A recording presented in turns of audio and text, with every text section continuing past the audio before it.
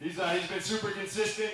Um, he's fought. If you guys have been around for a long time, he has uh, one of the only one-punch knockouts I've seen with 16 ounces in headgear.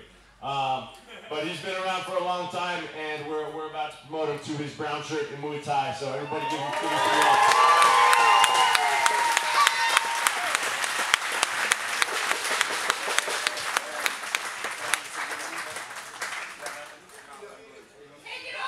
Thank you very much. I don't have any speech. Uh, This is totally unexpected.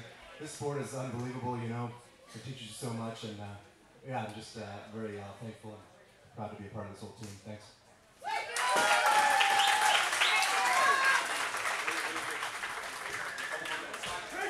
All right, five more minutes here, guys. Let's get into it.